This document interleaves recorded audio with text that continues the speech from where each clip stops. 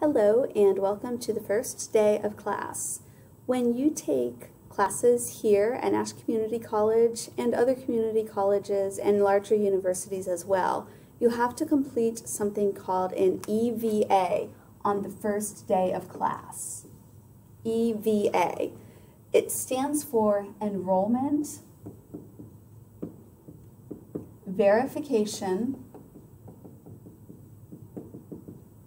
activity. This is just a simple online activity that you need to do in order to take that last step to officially enroll in the class. You're going to do an enrollment verification activity for me today, and after you finish it, you will receive an email notification that you are officially enrolled in the class. Now, the EVA will ask many different types of questions. Some of the questions are just silly questions because I want to know about you. Things such as what is your favorite color or your favorite food.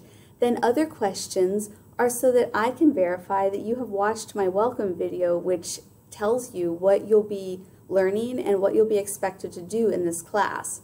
And then still other questions are meant to help me to assess where your starting place is. I need to know how well you can use and comprehend the English language in order for me to design lessons based on your individual needs.